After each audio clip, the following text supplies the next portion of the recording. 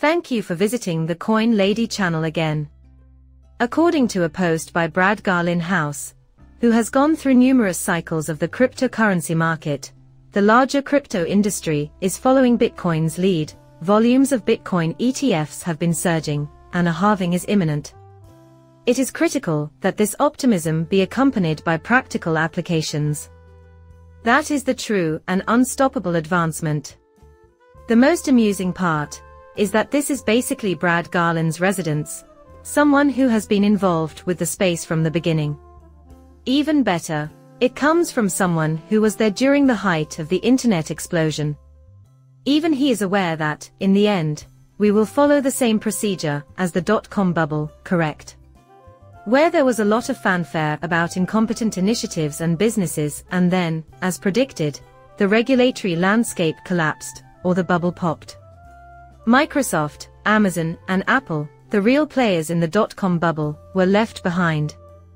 Now that we're thinking about it, it's almost like we're following in the footsteps of the dot-com boom. Only this time, the driving force is crypto technology and crypto startups like Ripple. And XRP is useful in that regard as well. When the H-bar is involved, QNT Casper, etc., come into play. This is, in my opinion, essentially the same conversation that nearly everyone has had about these projects. The practicality is where the true worth is. On the other hand, if it's very useful and optimistic, everyone says, oh, great. Why hasn't the pricing moved? Things are beginning to perk up in terms of utility, but this is still not a utility-driven bull market, is it? The Bitcoin market is continuing in a bullish phase. We are currently following Bitcoin's lead, according to even Brad. However, that will alter in due time.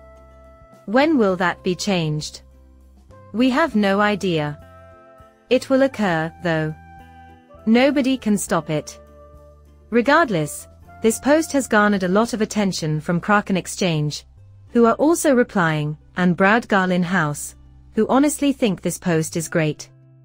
However, when we examine XRP, it goes beyond that. A significant shift on XRP occurred just now, guys. Oh, it's not that big, everyone will eventually say. This isn't a huge deal. This is a significant change, because we have managed to hold on to the 5,865 cent barrier, which I have warned everyone about. If we break below it, the market will turn bearish quickly, and we may see a return to 55 cents, or even 52 cents further down the road. Starting in July of 2023, we maintained control and managed to break above the weekly trend line. We are presently 25% higher than when we received the notification that XRP is not a security. Up about 30% on this candle alone to its peak. We nearly wicked my 75 cent target, though. We need to keep an eye on this area for a major breakout, if we can break out of the 75 cent zone, we can go to 92 cents. We are keeping an eye out for a major break above it, which will also be a large candle, similar to the one we can see above. Accordingly, this change alone would constitute a 20% plus move. Because this is macro barrier, a break above 92 cents would effectively set up a retest of the highs from 2021. Plus, this will set us up for an all-time high. However, I have been discussing this for some time in relation to XRP, in fact, I put out an article about it in which I stated my firm belief that XRP is going to undergo a dramatic transition. What I believe XRP will do to compensate for the chance lost in 2021 is the main point I have been making in my recent videos. Keep in mind, we are still very close to $2 in the midst of a litigation, with the worst possible attitude toward cryptocurrency, and after being delisted from all major exchanges. Personally, I'm hoping for 5 to $10, but I wouldn't be shocked if we saw greater. Just remember to cash in on your gains and reward yourself. This bull market is your cue to do just that. In my opinion, Things are going to get tough from here on out due to the fact that we are dealing with rules. The future of the market is completely unpredictable, you guys. It is possible that we may remain in a bear market until 2345. This cryptocurrency market downturn might last the longest.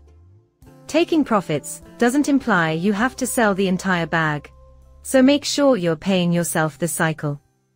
Always remember to have a moon bag on hand.